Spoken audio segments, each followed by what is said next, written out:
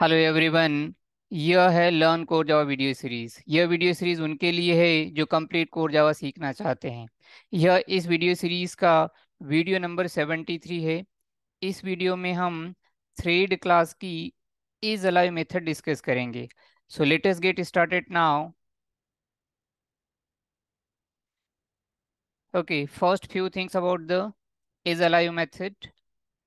So, it is used to check if a thread is alive or not. जो is alive method है, वह यह check करने के काम में आती है कि जो थ्रेड है, वह अभी अलाइव है या नहीं।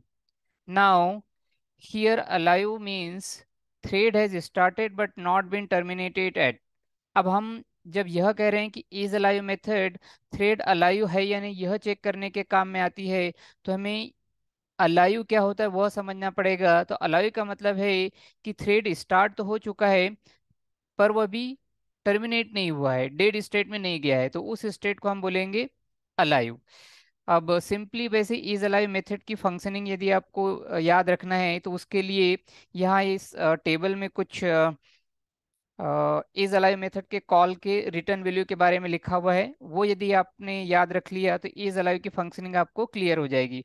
जैसा कि हम जानते हैं कि जो थ्रेड है, वह पाँच स्टेट में होता है। जब हम थ्रेड क्रिएट करते हैं, यानी थ्रेड का ऑब्जेक्ट बनाते हैं तो वह न्यू स्टेट में आ जाता है। उसके बाद में जब स्टार्ट मेथड कॉल करते हैं तो वो रनेबल स्टेट में होता है। उसके बाद जब थ्रेड रनिंग स्टेट में आ जाता है एग्जीक्यूशन होने लग जाता है तो वो रनिंग स्टेट में आ गया। देन मे बी की थ्रेड बीच में ब्लॉक भी हो सकता है तो ब्लॉक्ड स्टेट में आ जाएगा, और जब थ्रेड कंप्लीट हो जाता है, या फिर उसको टर्मिनेट कर दिया जाता है तो थ्रेड जो है वो डेड स्टेट में आ जाता है। इस तरीके से जो थ्रेड है, वो पाँच स्टेट में रहता है। तो यहाँ पे इन पाँचों स्टेट में जब थ्रेड होगा तो इज़ अलाइव कौन सी वैल्यू रिटर्न करेगा, यह इंपॉर्टेंट पार्ट है। तो जब थ्रेड न्यू स्टेट में होता है मतलब न्यूली क्रिएटेड थ्रेड है थ्रेड का ऑब्जेक्ट बना चुके हैं। जस्ट उसके बाद में यदि आपने इज़ अलाइव मेथड कॉल किया हुआ है तो इज़ अलाइव फॉल्स रिटर्न करेगा। यानी न्यूली क्रिएटेड थ्रेड जो है, यदि स्टार्ट मेथड को हमने कॉल नहीं किया है तो वो अभी अलाइव नहीं है, वो सिर्फ़ क्रिएटेड है। Okay so is alive method false return करता है। उसके बाद में यदि थ्रेड रनेबल स्टेट में आ गया, यानी स्टार्ट मेथड को हमने कॉल कर दिया तो अब थ्रेड जो है वो रेडी टू रन क्यू में आ गया? रनेबल स्टेट में आ गया तो इज़ अलाइव मेथड जो है वो ट्रू रिटर्न करेगी। एंड देन रनिंग स्टेट में आ गया, यानी रन मेथड का एग्जीक्यूशन अब चल रहा है तो उस केस में भी is alive method true value provide करेगी। बट यदि थ्रेड ब्लॉक्ड स्टेट में ऑब्वियसली मेथड कॉलिंग यहाँ पॉसिबल नहीं है। तो इसको डिस्कस करने का कोई मतलब नहीं यहाँ पे। देन थ्रेड यदि टर्मिनेट हो गया या कंप्लीट हो गया तो उस केस में थ्रेड जो है वो डेड स्टेट में चला जाएगा। तो थ्रेड जब डेड स्टेट में आ जाता है तो उस केस में यदि हमने इज़ अलाइव मेथड कॉल किया तो जो इज़ अलाइव मेथड है, वह जो वैल्यू रिटर्न करेगी वह है false now let us discuss all this things practically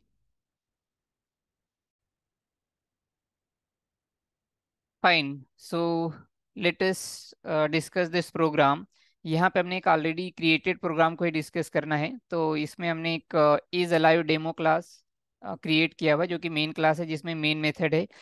and uh, इसी प्रोग्राम में हमने माई रनेबल क्लास क्रिएट किया है जो रनेबल इंटरफेस को इम्प्लीमेंट uh, कर रही है।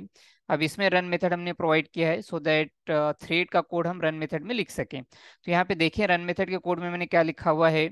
वेरी फ़र्स्ट हमने यहाँ पे वेरी फ़र्स्ट लाइन जो लिखा हुआ है थ्रेड इज़ रनिंग हम जानते हैं कि रन मेथड का एग्जीक्यूशन स्टार्ट हुआ मतलब थ्रेड जो है रनिंग स्टेट में आ गया ओके ये रनिंग स्टेट यहाँ पे लिखा हुआ भी मैंने कमेंट में.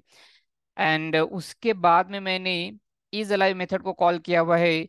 So thread dot current thread पहले हमने ये जो रन मेथड जिस थ्रेड के थ्रू एग्जीक्यूट हो रही है, उसका ऑब्जेक्ट गेट किया और फिर इज़ अलाइव मेथड कॉल किया. मतलब इस रन मेथड को जो एग्जीक्यूट कर रहा है, वह थ्रेड उसी थ्रेड पे हमने इज़ अलाइव मेथड कॉल किया सो so दैट हमें पता चल सके कि जो थ्रेड है अलाइव है या नहीं है।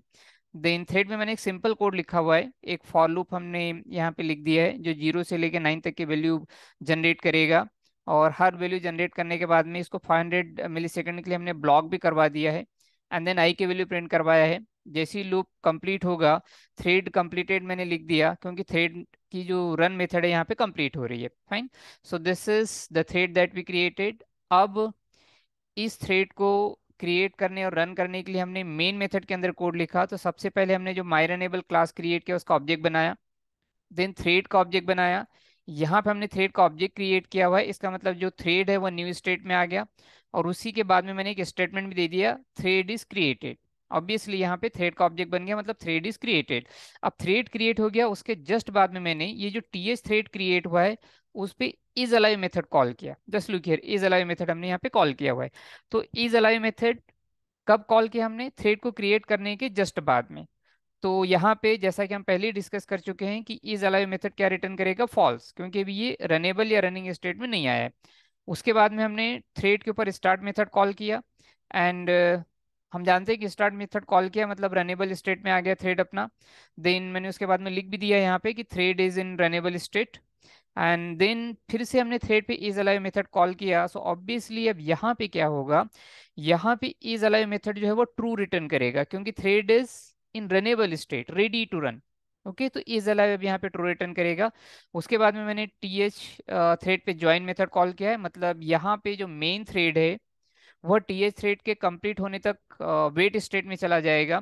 तो अब थ्रेड जो है अपना जो टी एच थ्रेड है वो कंप्लीट होगा ज़ीरो से नाइन प्रिंट करेगा एंड देन वापस जब इसको ज्वाइन करेगा, उसके बाद फिर से मैंने टी एच थ्रेड पे इज़ अलाइव कॉल कर लिया। सिंस ज्वाइन मेथड के पास ही जो टी एच थ्रेड कंप्लीट हो चुका है टर्मिनेट हो चुका है तो इज़ अलाइव मेथड अब यहाँ पे क्या रिटर्न करेगा?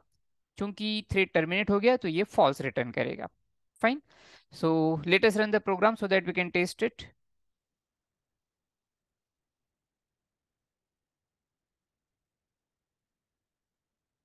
and look here the output है ना? थ्रेड इज़ क्रिएटेड मतलब न्यू ऑपरेटर को यूज़ करके जब हमने थ्रेड बनाया था सो उस समय इज़ अलाइव मेथड ने फॉल्स रिटर्न किया। जब थ्रेड जो है वो रनेबल स्टेट में आया, यानी स्टार्ट मेथड कॉल करने के बाद में तो इज़ अलाइव मेथड ने ट्रू रिटर्न कर दिया। फिर जब थ्रेड रनिंग स्टेट में आ गया मतलब रन मेथड का एग्जीक्यूशन शुरू हो गया तो इज़ अलाइव मेथड ने फिर ट्रू दिया। फिर थ्रेड ने ये ज़ीरो से लेकर नाइन तक प्रिंट किया एंड थ्रेड कंप्लीट हुआ। वापस मेन थ्रेड का एग्जीक्यूशन स्टार्ट हुआ और उसके बाद में फिर से मैंने टी एच थ्रेड पे ही इज़ अलाइव मेथड कॉल किया था तो उसने फॉल्स रिटर्न किया। सो कंक्लूजन इज़ कि जो थ्रेड है यदि न्यू स्टेट में ही है स्टार्ट नहीं हुआ है तो इज़ अलाइव फॉल्स रिटर्न करेगा। जैसे हमने स्टार्ट मेथड कॉल किया उसके बाद में या तो रनेबल स्टेट में होगा या रनिंग स्टेट में। ब्लॉक्ड का तो कोई सीन क्रिएट ही नहीं हो रहा है यहाँ पे। आ, मतलब ब्लॉक्ड में इज़ अलाइव कॉल करने का कोई सिग्निफिकेंस ही नहीं है। तो यदि थ्रेड रनेबल स्टेट में है या रनिंग स्टेट में है तो इज़ अलाइव ट्रू रिटर्न करेगा। और जैसे ही थ्रेड कंप्लीट हो जाएगा या टर्मिनेट हो जाएगा सो थ्रेड जो है वो डेड स्टेट में आ जाता है तो उस केस में फिर से यदि इज़ अलाइव हमने कॉल किया तो यह रिटर्न करेगा false okay so this is the use of is alive method thanks for watching this video